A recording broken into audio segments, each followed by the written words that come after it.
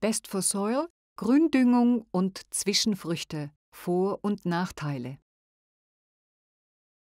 Hallo, ich bin Vincent und ich forsche viel zum Einsatz von Gründüngung zur Bekämpfung bodenbürtiger Krankheiten. Deshalb kenne ich gut die Vorteile, aber auch die Nachteile dieser Methode. Diese werden in diesem Best for Soil Video vorgestellt. Die Auswirkungen von Zwischenfrüchten und Gründüngern sind nicht spezifisch und können eine Vielzahl von durch den Boden übertragene Krankheiten gleichzeitig betreffen. Da sie keinen spezifischen Wirkmechanismus haben, ist es äußerst unwahrscheinlich, dass Krankheitserreger oder Nematoden Resistenzen gegen diese Ansätze entwickeln. Es ist eine natürliche Methode und daher weithin akzeptiert, insbesondere von Verbrauchern und Umweltorganisationen. Bei Fruchtfolgen mit einer dominierenden Gruppe von Pflanzenarten, zum Beispiel mehrere Brassica-Arten in einem Gemüseproduktionssystem, können Zwischenfrüchte oder Gründünger als Zwischenfrucht verwendet werden, die diese Fruchtfolge unterbrechen und dadurch die Belastung durch bodenbürtige Krankheiten verringern. Eine Zwischenfrucht ist eine Kultur, die nicht Träger der gleichen Krankheiten wie die Hauptkulturen ist und unterbricht dadurch den Krankheitszyklus. Weitere Informationen zu diesem Thema finden Sie im Best for Soil Video zur Fruchtfolge. Mit schnell wachsenden und tief wurzelnden Pflanzen kann der im Boden mineralisierte Stickstoff in den warmen Sommer- und Herbstmonaten fixiert werden. Dies reduziert die Nitratauswaschung in das Grundwasser während der Winterperiode. Zwischenfrüchte schützen die Bodenoberfläche vor Wind und Regen und reduzieren die Erosionsgefahr erheblich. Sie verbessern auch die Wasserinfiltration, was besonders bei starken Regenfällen nützlich ist. Darüber hinaus stabilisiert das dichte Wurzelsystem der Zwischenfrüchte den Boden, was in Hanglagen besonders wichtig ist.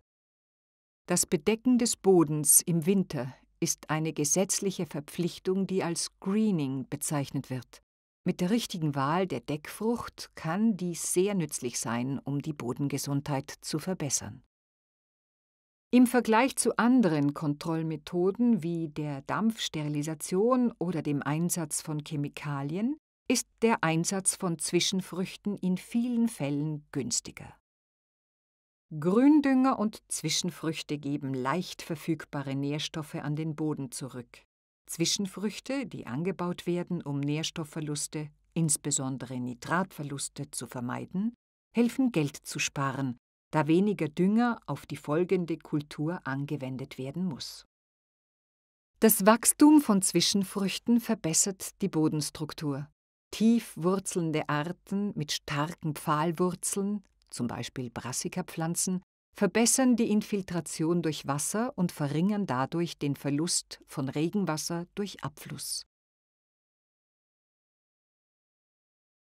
Selbst eine schnell wachsende Deckfrucht benötigt im Sommer mindestens zwei Monate Wachstumszeit, im kühleren Teil des Jahres noch viel länger.